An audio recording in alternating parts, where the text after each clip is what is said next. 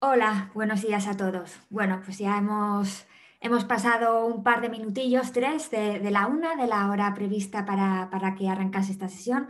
Así que, Mauro, Leo, si, os parece, eh, damos ya, ya inicio.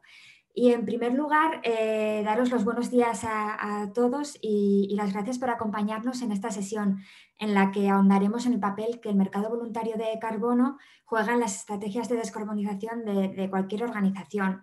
Como sabéis, la sesión de hoy se encuentra, eh, se, trata de, la primera sesión enmarcada en, un ciclo de webinars organizado por ECODES y por y Southpol y que se celebra bajo el marco de la Comunidad por el Clima y de Cero CO2. Es un ciclo que tendrá continuidad en las próximas semanas, concretamente los días 25 de febrero y 4 de marzo. Y bueno, en la web de ECODES, en ecodes.org, podéis encontrar ya la información relativa a estas sesiones e incluso registraros en las mismas. En un ratito compartiremos por el chat eh, los enlaces para que podáis encontrar la información de forma directa. Y bueno, eh, ¿por qué ponemos en marcha esta iniciativa? Pues porque buscamos despejar las dudas y los interrogantes que todavía hoy hay en torno a la compensación de emisiones de, de CO2 al fin y al cabo nos encontramos ante una práctica fundamental si queremos alcanzar la neutralidad en carbono en, en 2050 y cumplir así con lo, acordado en el, Acuerdo de París. Eh, incluso estamos ante un objetivo al que ya apunta la futura Ley de Cambio Climático y Transición Energética pero lo cierto es que para alcanzar esta neutralidad necesitamos que términos como compensación, como absorción, como captura de carbono o como mercados de carbono formen parte de, nuestra realidad y yendo más allá que se integren en las estrategias que gobiernos y empresas ponen en marcha eh, de cara a esta descarbonización. Y como los conceptos son, son muchos y, no están ajenos de cierta complejidad, eh, vamos a ir poco a poco y en el encuentro de hoy pondremos el foco sobre el mercado voluntario de carbono, que está dirigido a todas las organizaciones público y, y, privadas, a todas las empresas, incluso a los ciudadanos que asumen su responsabilidad frente al cambio climático y voluntariamente dan un paso adelante y neutralizan sus emisiones, compensándolas en proyectos limpios.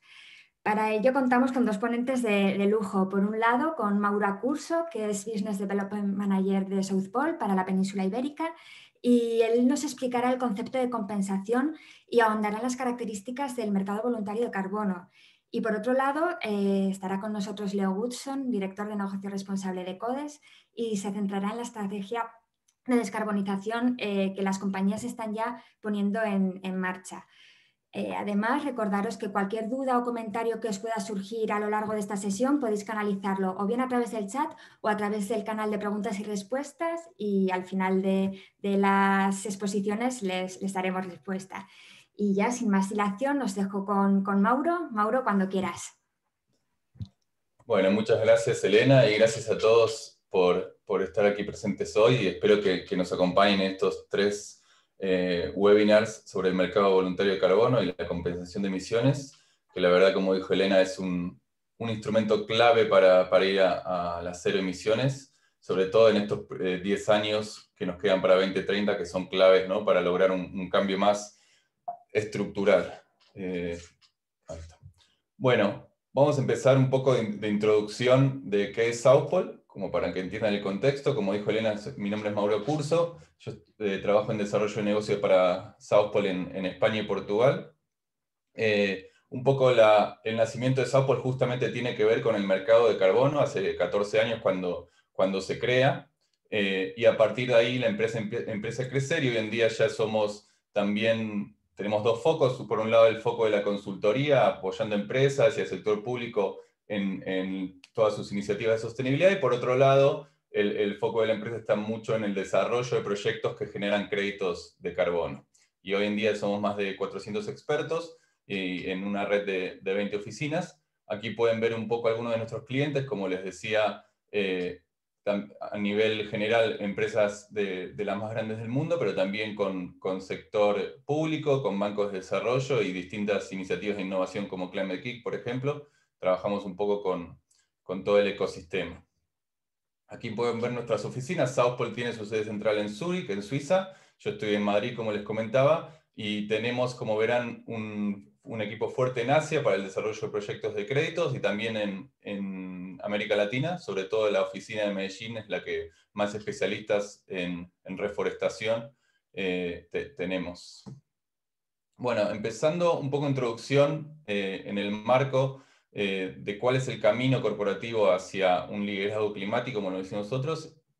el punto de, comienzo es entender que tenemos una gran brecha en cuanto a, las emisiones. Como verán, la línea que va para arriba es un poco las políticas actuales y cómo está el mundo hoy y cómo estamos en emisiones hoy.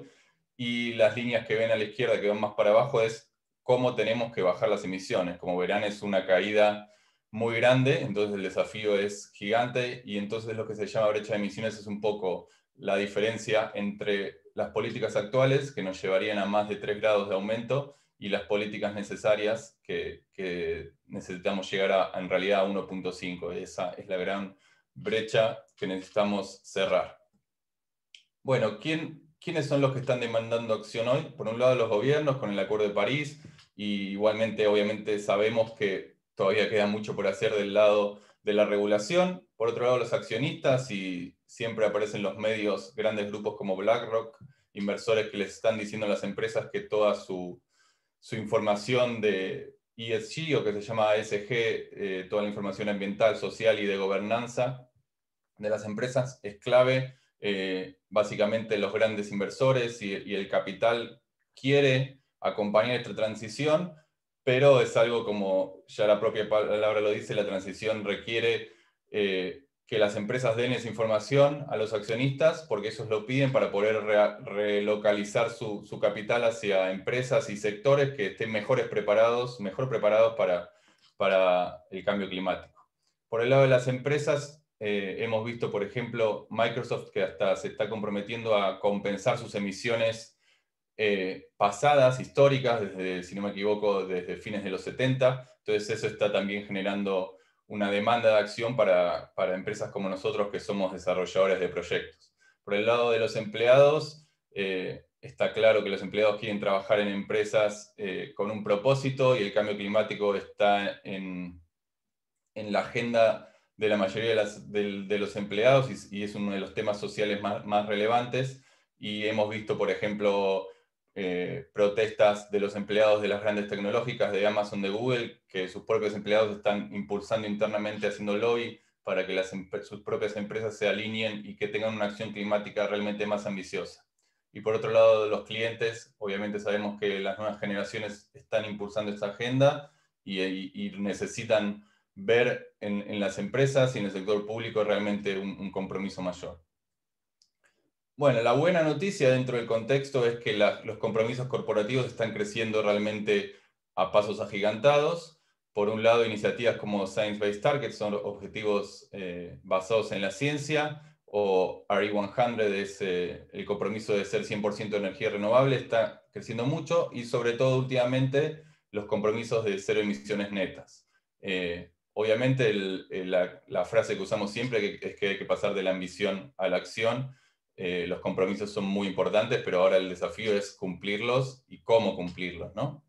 Eh, y justamente en el, en el camino a cumplirlos, desde South Pole este es un poco, esta filmina representa un poco nuestra visión a nivel general de los distintos pasos que, que se necesitan tomar desde el sector privado para ir hacia el liderazgo climático. El paso uno es medir la huella y nosotros también medimos, por ejemplo, en el marco TCFD cuáles son las oportunidades y los riesgos que el cambio climático presenta para las empresas, o sea, estar realmente haber hecho la tarea de qué es, cómo el cambio climático impacta el negocio y, medir los riesgos, ¿no? Por ejemplo, riesgos físicos, si, puede afectar la producción, puede afectar la cadena de suministro, o riesgos de transición como nuevas regulaciones o nuevos cambios en, el mercado.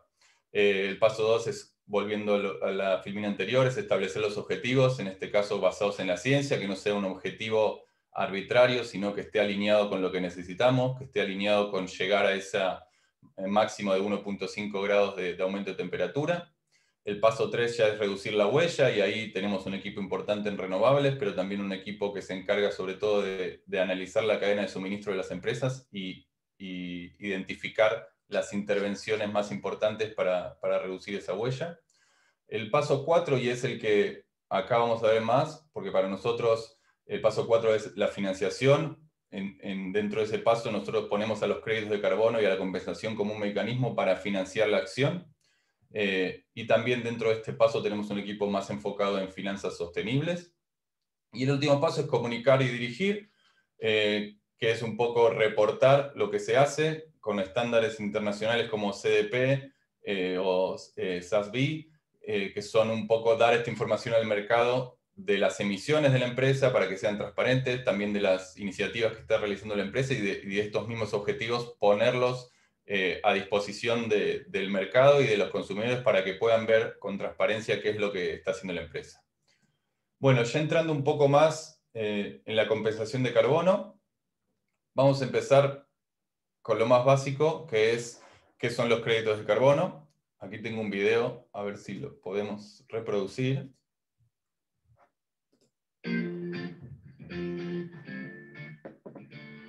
Es probable que haya escuchado hablar de los créditos de carbono en medios de comunicación o en los planes de sostenibilidad de alguna empresa. Pero, ¿a qué se refieren realmente? Tienen que ver con esto y con esto y con esto. Es un asunto global. Nuestra atmósfera no tiene fronteras. Pero finalmente creemos que tiene mucho más que ver con esto. Los créditos de carbono contribuyen con la salud y prosperidad de las comunidades y combaten el cambio climático mediante la financiación de proyectos. Proyectos que reducen la necesidad de quemar combustibles fósiles o de emitir gases de efecto invernadero al aire. Y nosotros sabemos cómo desarrollarlos. Con más de 500 proyectos que mejoran las vidas de hasta 10 millones de personas, somos el mayor desarrollador de proyectos internacionales de reducción de emisiones vamos a explicar la forma en que esto funciona. Cada vez que una organización utiliza un recurso que depende de la quema de combustibles fósiles, genera emisiones de carbono o una huella de carbono. Todo el mundo tiene una huella de carbono, pero cuando estas emisiones ingresan a la atmósfera, aceleran el cambio climático, ocasionando un clima más extremo. Afortunadamente, el abaratamiento de las tecnologías bajas en carbono y la introducción de prácticas más eficientes en el uso de los recursos han permitido a muchas organizaciones reducir sus huellas, volviéndose más resilientes y consumiendo menos energía. El primer paso siempre debe ser reducir las emisiones, y nuestro equipo asesora a gobiernos y empresas sobre cómo alcanzarlo en el mediano y largo plazo. Pero reducir las emisiones es un desafío y no ocurre de la noche a la mañana y con los sistemas actuales de energía y uso del suelo, no es posible evitar las emisiones en la mayoría de las organizaciones. Aquí es donde cobran importancia los créditos de carbono. Al comprar créditos de carbono, usted compensa las emisiones que ha generado al financiar proyectos en cualquier lugar del mundo que las reducen o absorben. La acreditación de estándares internacionales reconocidos le brindan la seguridad de que los proyectos que producen sus créditos generan los impactos ambientales y sociales positivos propuestos. Además, sus créditos ayudan a financiar proyectos que de otro modo no serían desarrollados. Entonces, además de compensar sus emisiones, también está apoyando formas de crecimiento más sostenibles. Qué bien suena esto. South Pole ha ayudado a cientos de compañías a reducir y compensar su huella y crear mejores oportunidades para las personas que viven en países en desarrollo. De hecho, todos los proyectos que aparecen en este video son de South Pole. Proyectos reales que generan impactos reales para personas reales.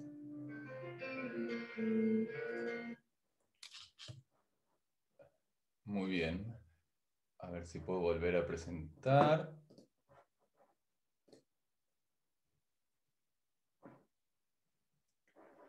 Muy bien. Eh, básicamente los créditos y como habrán escuchado en el video, con el tono de Colombia, de nuestra colega, porque como les decía, en Medellín tenemos el equipo más grande que se dedica a, estos temas. Eh, también quizás los van a ver online como bonos de carbono, digamos que a veces se le dice créditos o bonos según, el, según a veces la, traducción. Eh, básicamente cada tonelada de CO2 que se reduce o que se captura equivale a un, crédito de carbono. Eh, y esto ayuda a compensar esas emisiones y sobre todo es un mecanismo de, financiación de los proyectos. De esta forma, Southpol puede generar un proyecto eh, y una vez que se genera el proyecto, con esos créditos se venden en el mercado a distintas empresas que lo quieran apoyar y eso genera una, eficiencia y genera, como decía, financiamiento de estos proyectos que si no, no sucederían. Algunos de los criterios eh, básicos para poder generar un crédito, que sobre todo eh, la relevancia que tienen es que están verificadas eh, esas toneladas y que también se hace, por ejemplo, un, reaseguro en todos los proyectos por si algún proyecto sale mal, ese reaseguro ese, se le llama buffer o o hay una cantidad de toneladas que no se venden en el mercado que aseguran que si un proyecto falla se compensan con esas toneladas. Eh, bueno, básicamente tienen, uno de los criterios es que no se pueden generar créditos de un proyecto que sucedería igual, digamos, que si la, regulación dice que eso tiene que ser así que un bosque se tiene que proteger, ese bosque no puede generar créditos, porque ya digamos que el, el business as usual o la situación actual dice eso, no podemos generar el crédito. Los, créditos se generan para financiar proyectos que de otra manera, sin esta financiación que significan los créditos, no sucederían. Y eso, eso es clave eh, y es muy importante que por eso nosotros pedimos que los gobiernos también accionen, porque eso generaría proteger más bosques, generar más acción, y los créditos financian una parte, y por eso también es un mercado voluntario. Ah, disculpas, a ver si puedo pasar. Ahí está. Bueno, un poco, no voy a ahondar demasiado en el mercado de los créditos, pero la realidad es que nos hemos sorprendido el año pasado, pese, al COVID, eh, la demanda crece y la demanda crece justamente por esto que hablamos al principio, que cada vez son más las empresas que se comprometen.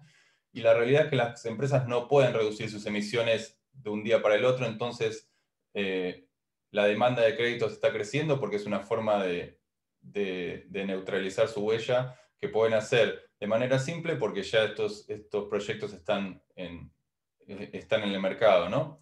Eh, pero algunos números que pueden ver ahí en el, en el texto es que básicamente necesitamos, si bien está creciendo la demanda de créditos, necesitamos que, que crezcan todavía más si realmente queremos alinear este instrumento que es el mercado voluntario de carbono con el 1.5, ¿no?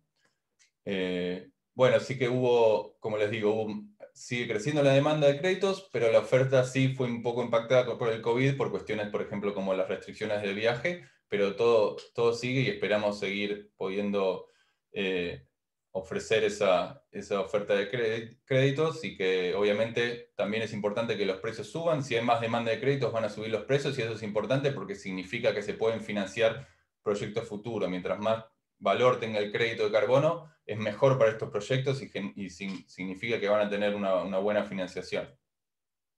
Bueno, dentro de cuál es la estrategia de, una empresa para utilizar el mercado de carbono, obviamente lo importante es primero comprenderlo eh, y analizar, por ejemplo, en, el Acuerdo de París hay el artículo 6 que todavía no se terminó de debatir, cómo eso va a impactar, por ejemplo, definir la estrategia de compra y ahora vamos a ver un poco más, hay distintas opciones, distintos certificados, distintos países donde están estos proyectos, eh, que cada empresa va a tener sus preferencias y luego comunicar bien esto, ¿no? Comunicar bien al, consumidor o al cliente de por qué se está compensando, por qué se eligen esos créditos, cuál es la estrategia, que no es solo compensar y nada más, sino tenemos estas emisiones hoy, las compensamos, pero también las estamos reduciendo, que esa es una de las claves para que no sea greenwashing, que luego voy a hablar.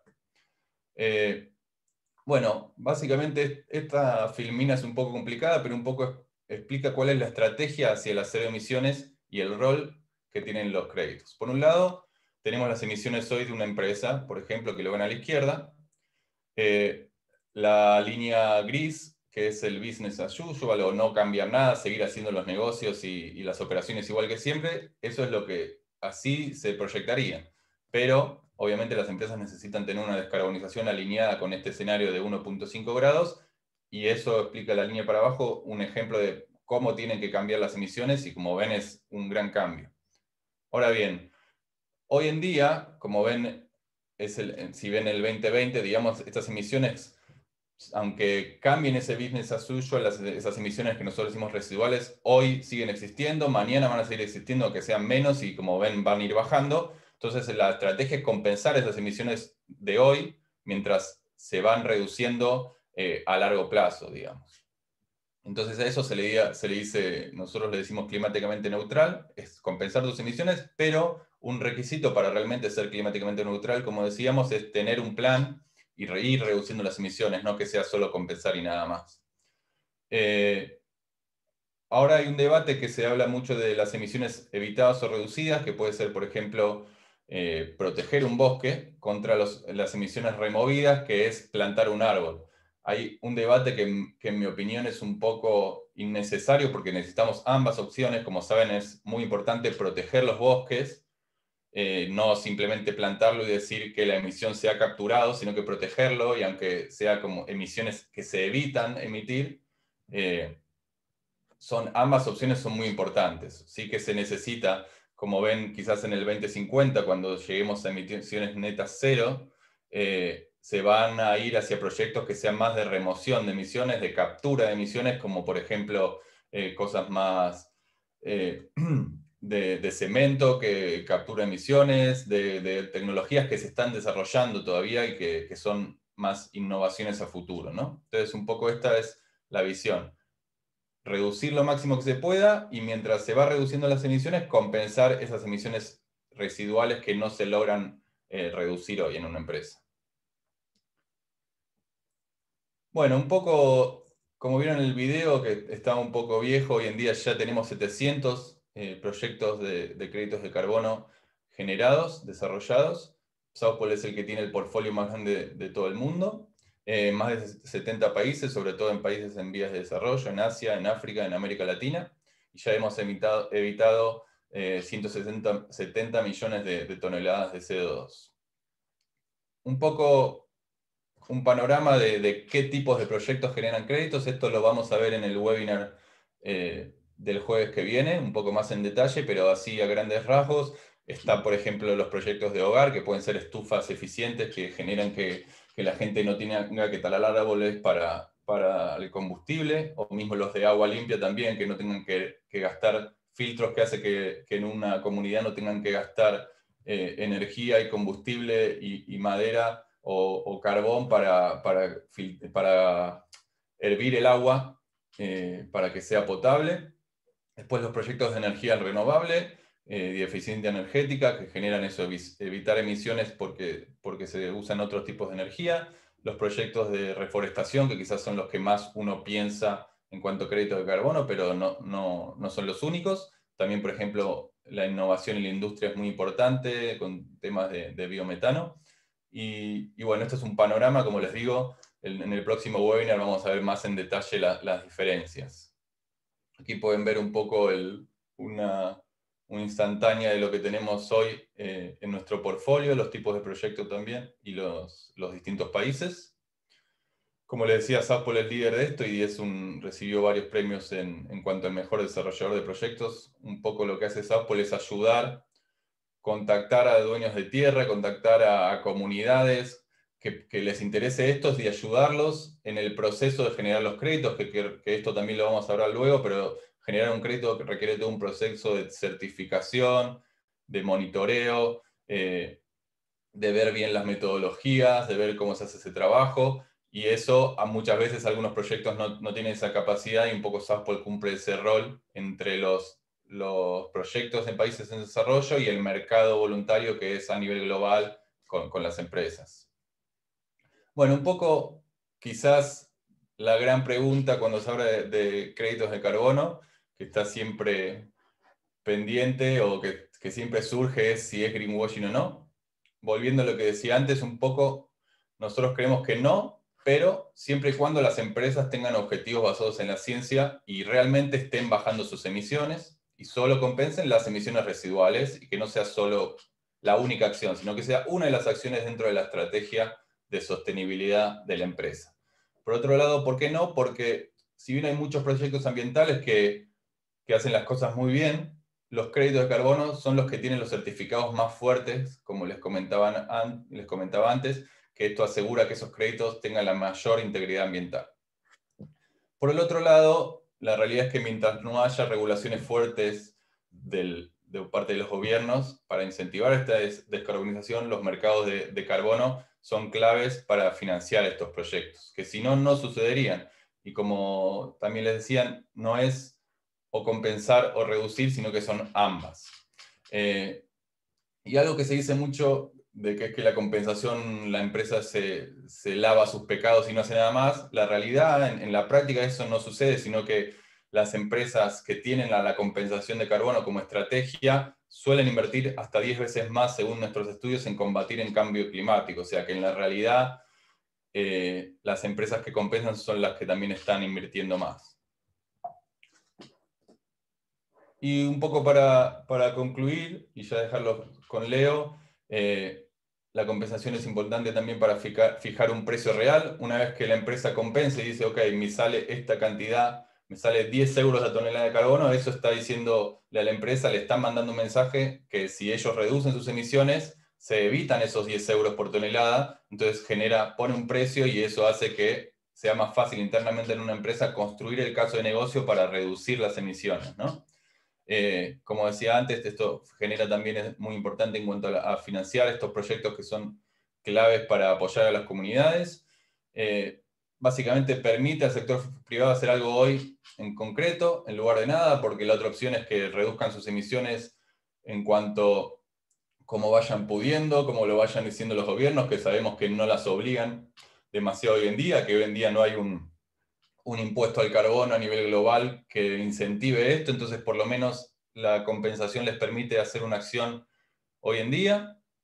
Y también, por ejemplo, algo que está pasando mucho, y la última conclusión es que sirven para, para innovar. Hoy en día, por ejemplo, estamos haciendo proyectos de lo que se llama carbono azul con manglares. Entonces, estas soluciones financieras y técnicas que promueven los créditos de carbono son claves para también ir financiando innovación y, nuevas formas de, reducir emisiones, que en el fondo es el objetivo. Ahí tienen un... Eh, esto es un estudio que sacamos que están en nuestro sitio web. Si les interesa saber más del mercado, pueden, pueden leerlo.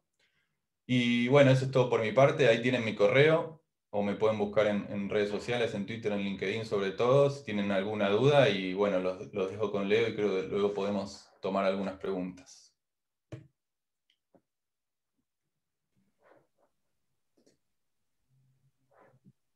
Bueno, pues muchas gracias Mauro por, compartir todo este conocimiento y por despejar eh, muchas dudas y, bueno, también por, generar otras. Ya estamos registrando alguna pregunta de, los espectadores que nos están acompañando. Os recordamos que a través del chat o bien a través del canal de preguntas y respuestas nos podéis hacer llegar eh, todas las, dudas o los comentarios que os vayan surgiendo a lo largo de, de esta sesión.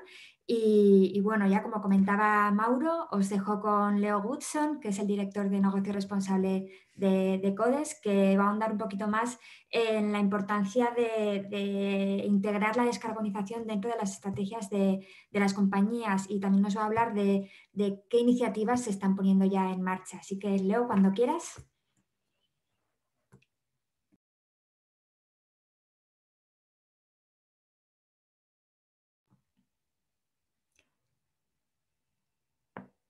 Leo, recuerda activar tu micro, que no, te escuchamos de momento.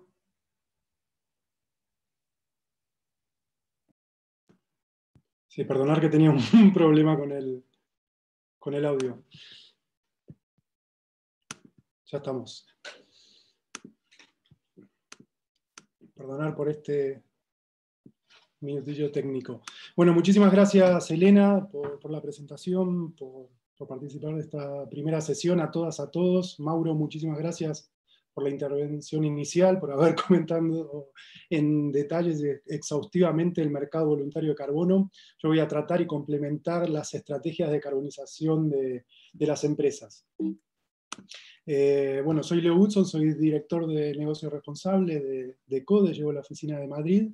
Y para quienes no conocen ECODES, del año 92 unimos la ecología y el desarrollo en España, con sede en Zaragoza, en Aragón, y bueno, trabajamos tanto en Europa como en, España, obviamente, y América Latina, para conseguir y maximizar el bienestar de todas las personas dentro de los límites planetarios. Bueno, parece como muy, muy ambicioso todo esto, pero ¿con qué objetivo? Tener una transición a una economía verde, inclusiva y responsable. Todo esto, esto nos hizo repensar nuestra, nuestra actividad, y objetivos a partir de la Agenda 2030, 17 Objetivos de Desarrollo Sostenible eh, en septiembre de 2015. trabajar en esas 169 metas y en los 242 indicadores con quiénes, con, personas, con la ciudadanía, con las administraciones públicas, con las empresas y con las eh, organizaciones del tercer sector. Toda una plataforma multiactor que las llevamos a cabo en seis líneas de trabajo. La primera, cambio climático, trabajamos mucho en políticas públicas, en temas de adaptación y, mitigación del cambio climático. En segundo lugar, también tenemos todo un equipo de, ciudades sostenibles, donde trabajamos esa, esa, vida urbana de calidad del aire y proyectos donde incluyen a las personas, a los distintos actores, como las empresas y las administraciones públicas, mucho con, ayuntamientos en esta transición. Luego, energías y personas, muy centrado en el ODS número 7 de acceso a una energía asequible y no contaminante, con temas de autoconsumo compartido en ciudades, con temas de pobreza energética, sin dejar a nadie atrás. Eh, eh, esta es la transición justa. En, cuarto lugar, todo tema de cultura para la sostenibilidad, donde trabajamos muy a fondo la Agenda 2030 en, bueno, en, todo, en toda España con diferentes actores. En quinto lugar, producción y consumo responsable, con distintos actores en maximizar todos los procesos, como decimos del cradle to cradle, desde el diseño de los productos al consumidor en, esta transición. Y por último, cooperación al desarrollo. Tenemos todo un equipo y una oficina en, Nicaragua para eh, trabajar en cooperación al desarrollo en Centroamérica. Eh, una de las iniciativas que hemos creado en 2015 con el Acuerdo de París fue la plataforma multiactor para implementar con ambición este Acuerdo de París que hablaba de dos grados, de reducir dos grados centígrados eh, la temperatura eh, a partir de diciembre de 2015. Esto que, lo que hicimos es aunar a estas cuatro, estos cuatro actores, personas, empresas, administraciones públicas y organizaciones del tercer sector, y bueno, más de 20.000 adhesiones, eh, más de un millón de visitas en esta página, seguidores en redes sociales. Y esto es lo, que estamos haciendo, maximizar eh, la acción climática. ¿Quiénes componen la Comunidad por el Clima? Nosotros ejercemos de Secretaría Ejecutiva como, como iniciativa en ECODES, pero fíjense también esta pluralidad de actores desde las administraciones públicas con el Ministerio eh, la transición ecológica y reto demográfico con la Oficina Española de Cambio Climático y también la Fundación Biodiversidad. Luego, para tener actuación en toda España, la FEM, la Federación de Española de Municipios y Provincias. Y luego el sector privado, que nuclea la red española del Pacto Mundial con todas sus, sus, empresas y el Grupo Español de Crecimiento Verde, aquí más de 60 empresas de todo tipo y tamaño promoviendo la, acción climática en España. Y luego en el tercer sector también la parte social, Cruz Roja y, y otras de las eh, organizaciones ambientales como es Life. Esto es la Comunidad por el Clima. Y como siguiente paso, eh, quisiera comentarles un punto de partida, la década decisiva, 2030.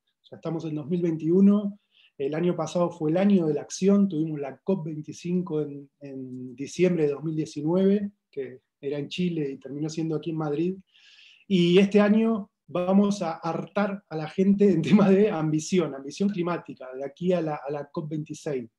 Ampliar en todos los sectores, en todas las, comunidades autónomas, ayuntamientos y todos los actores, para llegar a ese punto, al punto del año cero a 2030. Por eso, muy alineado con la Agenda 2030 que comentábamos y con el Acuerdo de París, estas dos grandes eh, iniciativas globales. Miremos la parte regulatoria, la parte de cómo se está legislando esta economía neutra en carbono que nos explicó Mauro con total detalle. Eh, fijarse la Comisión Europea, el último, eh, esa ambición ha sido declarada al 55% de emisiones dentro de lo que es este Green New Deal, este pacto verde de aquí como un plan estratégico a, largo plazo, a 2050 en esa descarbonización, pero con hitos para llegar a, un 55% de reducciones en, 2030. Insisto, estamos en 2021, eso quiere decir que ECODES, que todas las personas que están escuchando, personas, administraciones públicas, ayuntamientos, empresas de todo tipo y tamaño y sector, tenemos que ir por esa senda, esa senda y esos gráficos que nos, compartieron de Sao Paulo. Llegando a España y bajando a, a nivel de la ley de cambio climático y transición energética en la cual se viene trabajando, esperemos que eh, salga en, poco tiempo, va a trabajar mucho en nuclear a todos los actores, también a la inversión, en movilizar capitales a una economía verde, inclusiva y neutra en carbono. Y eh, alineado con lo que es el, el PENIEC, el Plan Nacional Integrado de Energía y Clima, con estos objetivos puntualmente sectoriales y haciendo un doble clic en políticas y medidas para, para alcanzarlos. Volviendo aquí a la crisis actual, ¿no? del COVID-19, siempre hablamos de oportunidades, una gran, gran oportunidad, una ventaja de recuperación mejor de esta economía eh, verde e inclusiva. Fijarse en las bases de esta recuperación, de lo que es el Green New Deal, este Pacto Verde a 2050, donde se lanza, el año pasado se acordaron todos los estados de la Comunidad Europea, en su gran mayoría, este programa Next, Next Generation EU, ¿qué quiere decir? Que las próximas generaciones van a financiar todo, todo este, este cambio, estas palancas totalmente alineadas, integradas. Fijarse las 10 las 10 áreas, una agenda urbana, rural y lucha contra la despoblación, dentro del plan de recuperación y transformación y resiliencia que presentó España en octubre del año pasado, 2020, donde prácticamente todo el tejido empresarial, desde la modernización y digitalización de, las pymes y todo el tejido industrial, temas de ciencia e innovación, educación, impulso una cultura y deporte, modificación y modernización del sistema fiscal, agenda urbana, infraestructuras, básicamente está todo alineado. La Agenda 2030, la Agenda de Descarbonización, eh, cuando asume Ursula von der Leyen, presidenta de la Comisión Europea, habla de tres líneas y tres palancas, digitalización, descarbonización y resiliencia. Y esta es la traducción, la traducción de este plan de recuperación, transformación y resiliencia. Por esto esta gran oportunidad, ver esta crisis, que podríamos eh, centralizarla en cuatro tipos de crisis, eh, puntualmente sanitaria, económica, social y medioambiental. ¿Cómo poder dar respuesta a todo esto? Bueno, integrado al plan europeo y a los planes que está presentando el gobierno de España. El papel de las empresas, puntualmente, y es lo que nos estamos centrando. Fijarse aquí, KPMG eh, hace una encuesta de reporte de sostenibilidad, el año pasado hablaba de esto, una cifra que el 64% de las empresas en España creen que el cambio climático es un riesgo para su negocio. Ya estamos trabajando desde CODES en el área de, de finanzas sostenibles con el sistema financiero y ya con tres entidades empezamos a trabajar en esos riesgos, riesgos climáticos físicos y de transición al cambio climático. ¿Qué riesgo le afecta a una entidad financiera para, para financiar esta economía verde inclusiva dentro de los límites planetarios? las empresas, bueno, que se comprometan a esto, por eso es un mensaje a todos vosotros que estáis ahí, a anticiparte a estos cambios regulatorios, a contar con, los inversores y también consumidores que están cambiando y viendo empresas más responsables, más inclusivas y más resilientes. Eh, hay todo un tema de contratación pública donde cada vez se, ataca más a esto. Un ejemplo es el Ayuntamiento de Madrid, en, una de las últimas eh, convocatorias, solo eh, buscaba proveedores de energía 100% renovable con certificado energético renovable. Entonces, claro, son accesos directos a estos contratos públicos que una pyme. De hecho, en los, lotes, eh, los cuatro lotes que se subastaron, entraron cuatro pymes. eh, bueno, luego mayor competitividad en, mercados, tanto nacionales, internacionales y lógicamente europeos, mucha atracción y retención de talento, personas que tienen eh, iniciativas personales que también están alineadas a las de la empresa, y luego ex extender esto a la cadena de valor cadena de valor tanto hacia arriba o hacia abajo, clientes y proveedores para hacerlo más robusto, más descarbonizado y resiliente.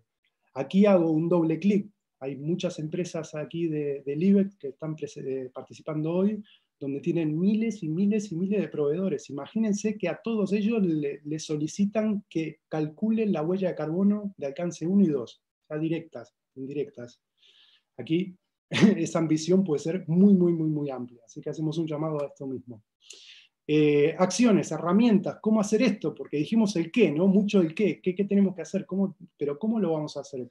Bueno, en noviembre presentamos un anuario que mm, representa y resume la acción climática empresarial en España, eh, es un estudio que nació el año pasado para, para, ser referente en esta década y, e ir comparando 2021 con 2022 y cuál es ese avance, cuál es esa ambición y acción climática con los objetivos de ambición a nivel internacional en esa reducción eh, de carbono. Es un elemento también para visibilizar esos esfuerzos empresariales en España. Ahora La próxima edición la presentaremos el 3 de junio. Esto lo hacemos en conjunto con, la, eh, con el Pacto Mundial, con la Oficina de España del Pacto Mundial.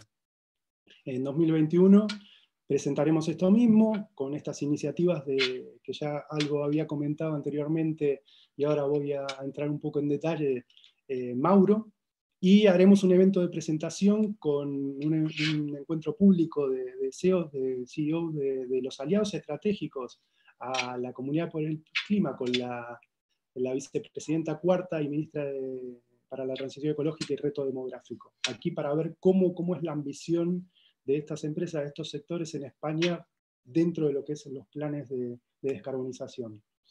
En este anuario eh, está muy centrado en la ciencia, cómo los objetivos basados en la ciencia, los Science-Based Target, están impulsando a nivel internacional y con doble clic y foco en España esta ambición climática.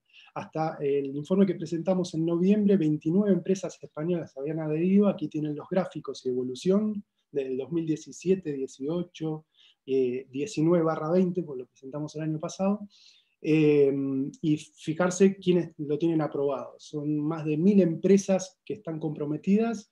Eh, en tres niveles había hasta ahora, el 2 grados, eh, que era lo que comentaba anteriormente con el Acuerdo de París, otra instancia que es muy por debajo de los dos y ya alineados con el último informe del IPCC, bueno, esto fue en octubre de 2018, que ya hablaba que no, ya dos grados ya no, ese, ese medio grado es necesario para esa ambición y esos cuadros que nos compartió Mauro de, de reducir emisiones con una ambición mayor de 1,5.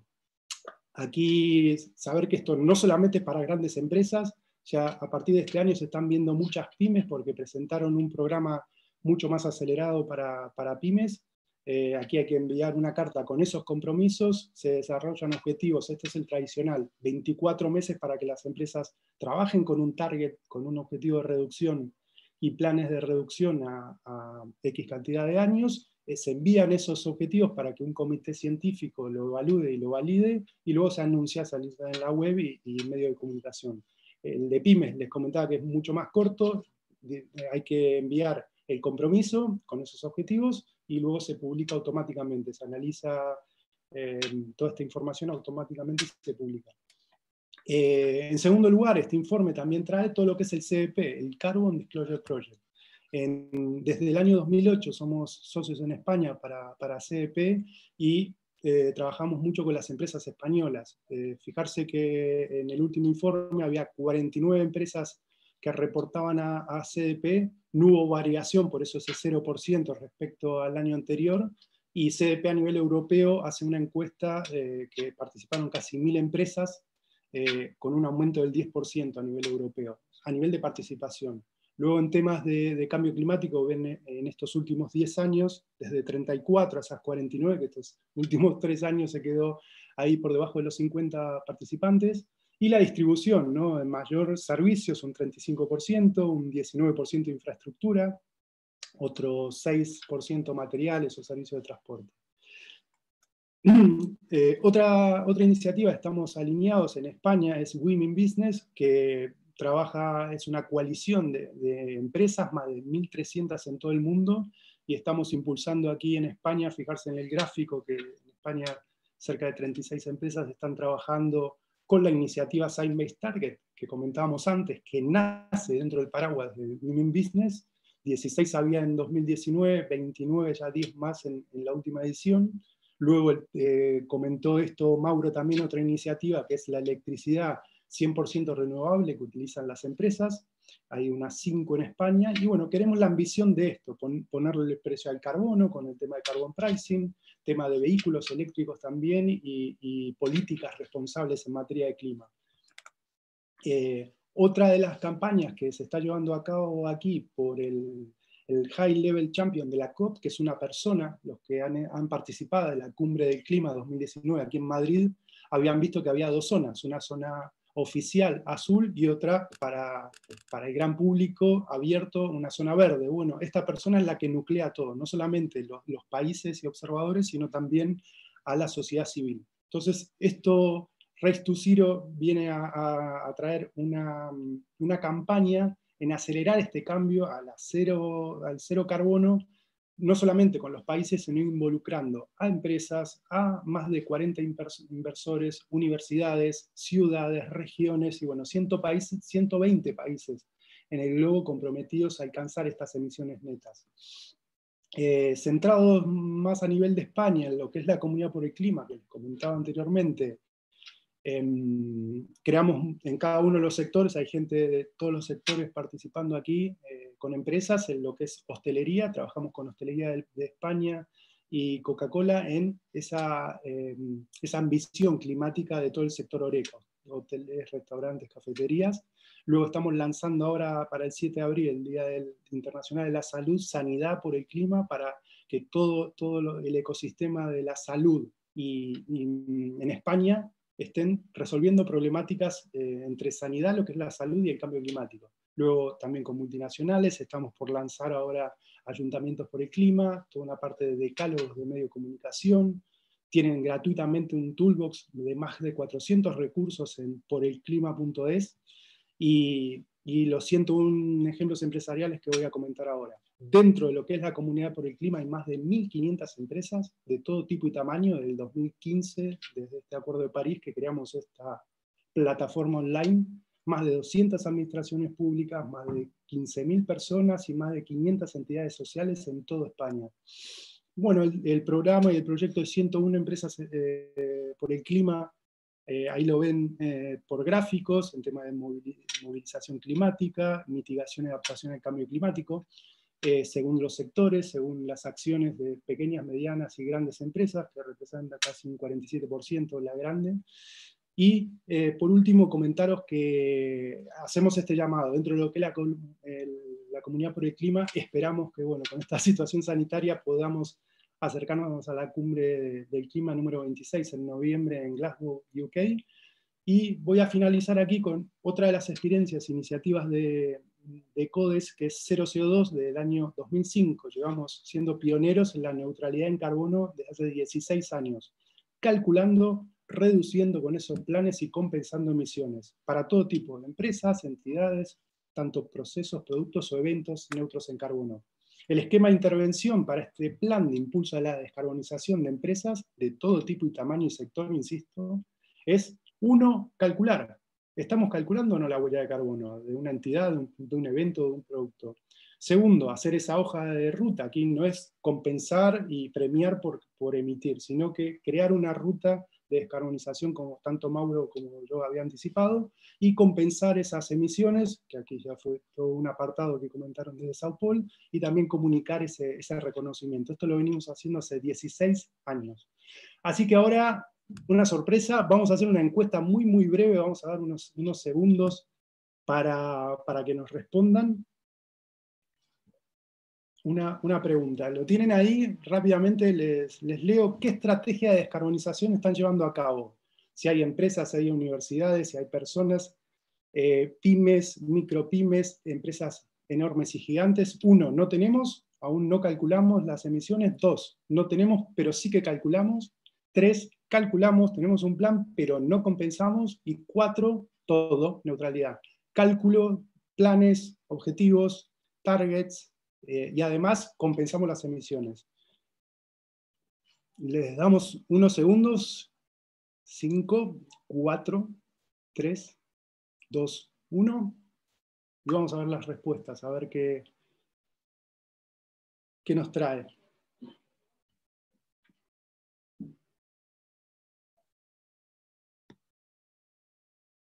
Vale, ahí tenemos.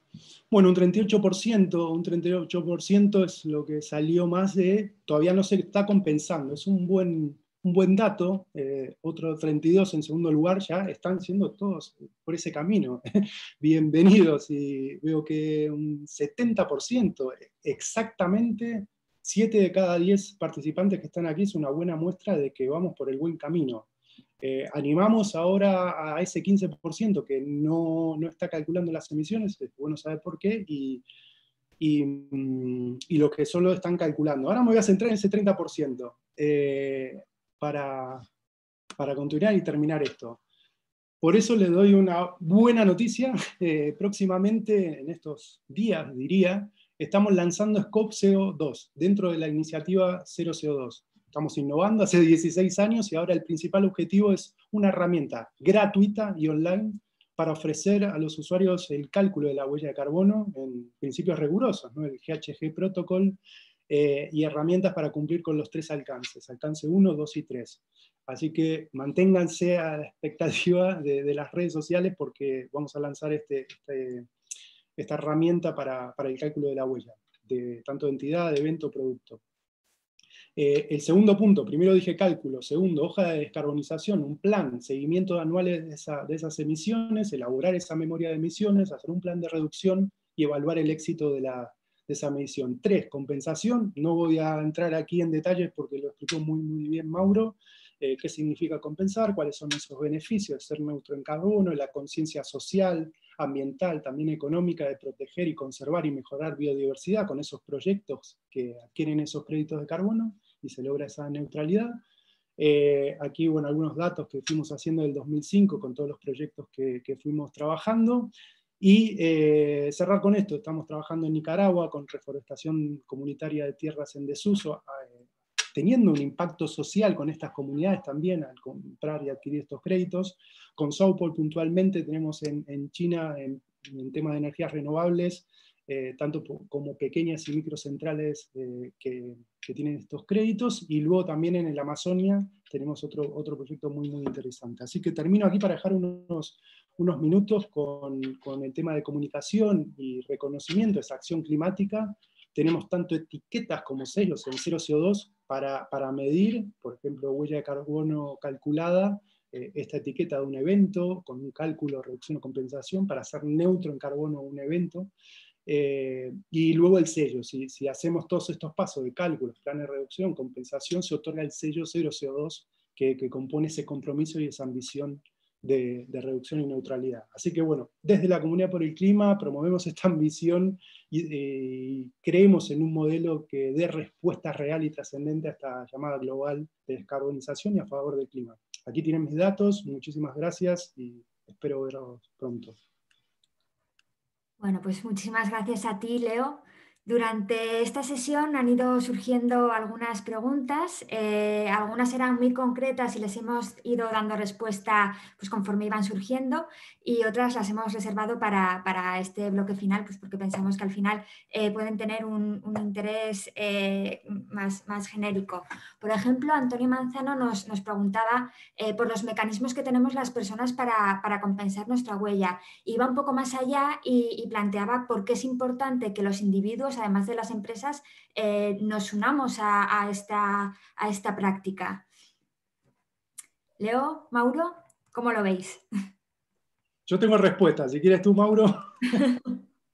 dale, dale, vos Leo primero, ¿Qué tal, Antonio? Eh, encantado. La verdad que les voy a dar cifras. El año anterior fueron 330 gigatoneladas de CO2 en España.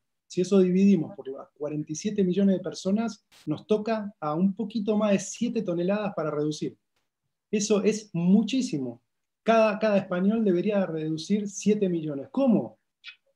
¿Cómo nos movemos? ¿Cómo nos alimentamos? ¿Cómo invertimos? cómo em, realizamos nuestra actividad diaria, todo deja una huella detrás. Así que es muy importante a nivel individual de trasladarse, desde trasladarse desde, desde su casa hasta la oficina, de eh, tema de alimentación se está hablando de temas de, mm, bueno, sí, sí, puntualmente de qué ingredientes eh, promueven una dieta equilibrada y justa con el, medio ambiente. Y yo creo que fundamentalmente es eso, porque es importante eh, Em, que los individuos, bueno, compensar la, huella de carbono se da mucho también por el tema de, viajes o eventos, ¿no? Hacer neutro en carbono, eh, esta actividad que pre-pandemia estábamos viajando de una manera loca en, hacer reuniones y, viajes que ahora vimos que no era tan, tan, eh, tan importante. Así que creo, creo haberte respondido, Antonio. Sí, de mi lado solo agregar que creo que a nivel individual eso, vale mucho más la pena buscar cómo reducir la huella. Digo, está bueno, creo dejé el link ahí, eh, hay un montón igual de calculadores de carbono individuales que pueden usar, eh, pero vale la pena más primero pensar en cómo reducir, hay un montón de soluciones, no vamos a entrar, pero y después, en todo caso, ver cómo compensar. Si, si, después de haber reducido tus vuelos, tus viajes, de haber eh, reciclado más, haber cambiado un poco la dieta, un poco menos de carne y todo lo que se puede hacer, todavía nos va a quedar una huella y la quieres compensar, genial, pero creo que a nivel individual es, por un lado, reducir la huella, luego pensar cómo compensarla, y luego también a nivel ¿no? de como individuos y como ciudadanos estar más en, en la parte política, reclamar cambios, porque sabemos que el, cambio climático es un desafío tan grande que a nivel individual, si bien es muy importante, también necesitamos más a nivel colectivo y políticas generar cambios. Así que lo veo un poco más, como que la a nivel individual la compensación se puede hacer, pero lo veo como un paso luego, pero sí que a nivel de organizaciones y empresas sí que es un paso que se puede tomar hoy y compensar la huella porque va a ser realmente mandar mucha financiación. No veo que a nivel individual se pueda generar una financiación tan grande con los créditos, sino que va un poco más orientado al mercado corporativo. ¿no? Muy bien. Por otro lado, Xavier Salto nos traslada también una cuestión bastante interesante y nos, plantea que cómo se prevé evitar el double accounting, es decir, el que la misma tonelada mitigada o evitada se pueda comercializar dos veces. Bien, ahí tengo un slide que en realidad no la puse, porque primero porque no llegué a traducirla, pero en realidad porque es para el, para el webinar que, viene. Básicamente hay un debate con el accounting, eh, con esto que comentamos del artículo 6 del Acuerdo de París, eh, porque digamos que si un proyecto se hace en un país, digamos Brasil, eh, pero esos créditos se compran por una empresa de, digamos, España, en realidad, ¿quién quién se adjunta esa, esa reducción de emisiones. ¿no?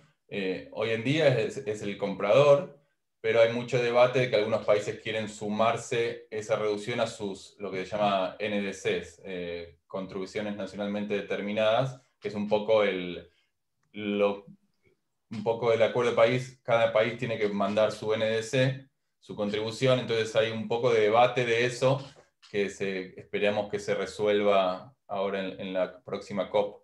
Y esto para que veas súper rápido eh, un poco cuáles son eh, los criterios que tiene ICROA, que es la, Alianza Internacional de, Reducción de Carbono y de Offsets, de, créditos de carbono, que son, un poco lo había comentado antes, que tienen que ser adicionales, eh, que por ejemplo eso, que el proyecto no sucedería sin este financiamiento extra y que tampoco sucedería simplemente por seguir la ley de un país, sino que sea algo adicional, que sea medible, que sea verificable con, auditores externos, que sea permanente, que esa, por eso hablábamos de que, por ejemplo, tú puedes plantar un árbol y decir capturó esta cantidad de CO2, pero ese árbol se puede caer, pueden pasar un montón de cosas, en cambio estos créditos están realmente, la metodología y la verificación para decir que hay una tonelada capturada está realmente más, certificada y que es una, una tonelada que se captura a nivel permanente.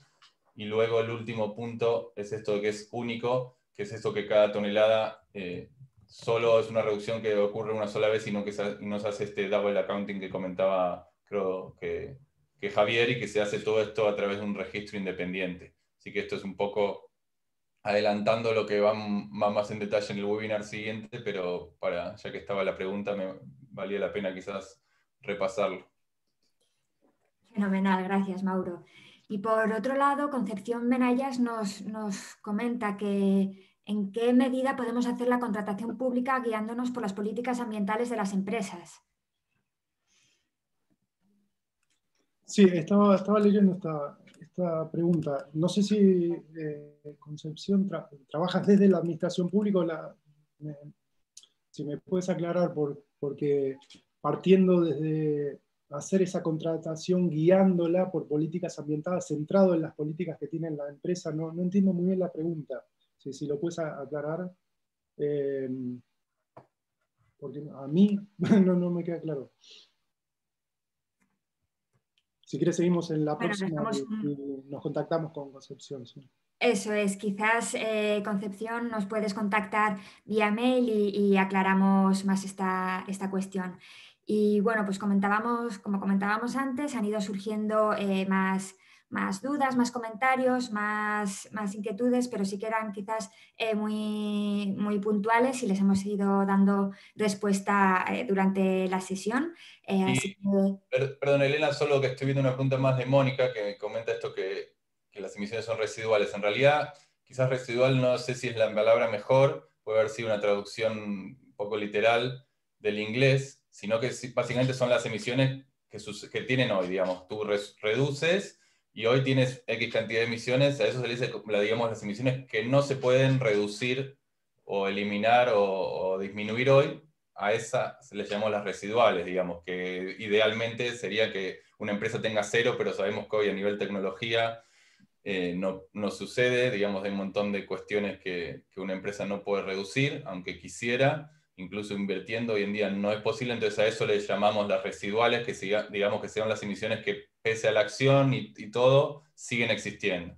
Pero sí, puede ser un concepto ambiguo y, lo tomo el, comentario.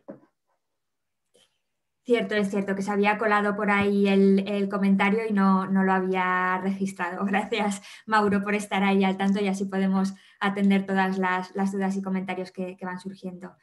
Y bueno, pues por, nuestra parte, eh, simplemente recordaros de nuevo que esta sesión tiene continuidad en las próximas semanas. Eh, el, día, eh, el jueves que viene tenemos la, siguiente, la siguiente sesión, que en esa ocasión será un poquito más tarde que, hoy, será a las 4 y nos centraremos en las características fundamentales de los proyectos de, de compensación en el mercado voluntario de carbono. Y eh, la última sesión tendrá lugar el 4 de marzo a la misma hora que hoy, también a la una, y ahí eh, hablaremos sobre la compensación de emisiones en, España, haciendo un poco una situación de análisis de, cuál es el estado a día de hoy y también proyectándonos a, futuro. En el chat os hemos dejado los links para que podáis eh, acceder a más información sobre estos encuentros, así como el, el enlace de registro. Y, por mi parte esto es todo. Simplemente eh, de nuevo agradeceros vuestra, vuestra presencia y vuestra compañía hoy y nos vemos el jueves que viene. Muchas gracias.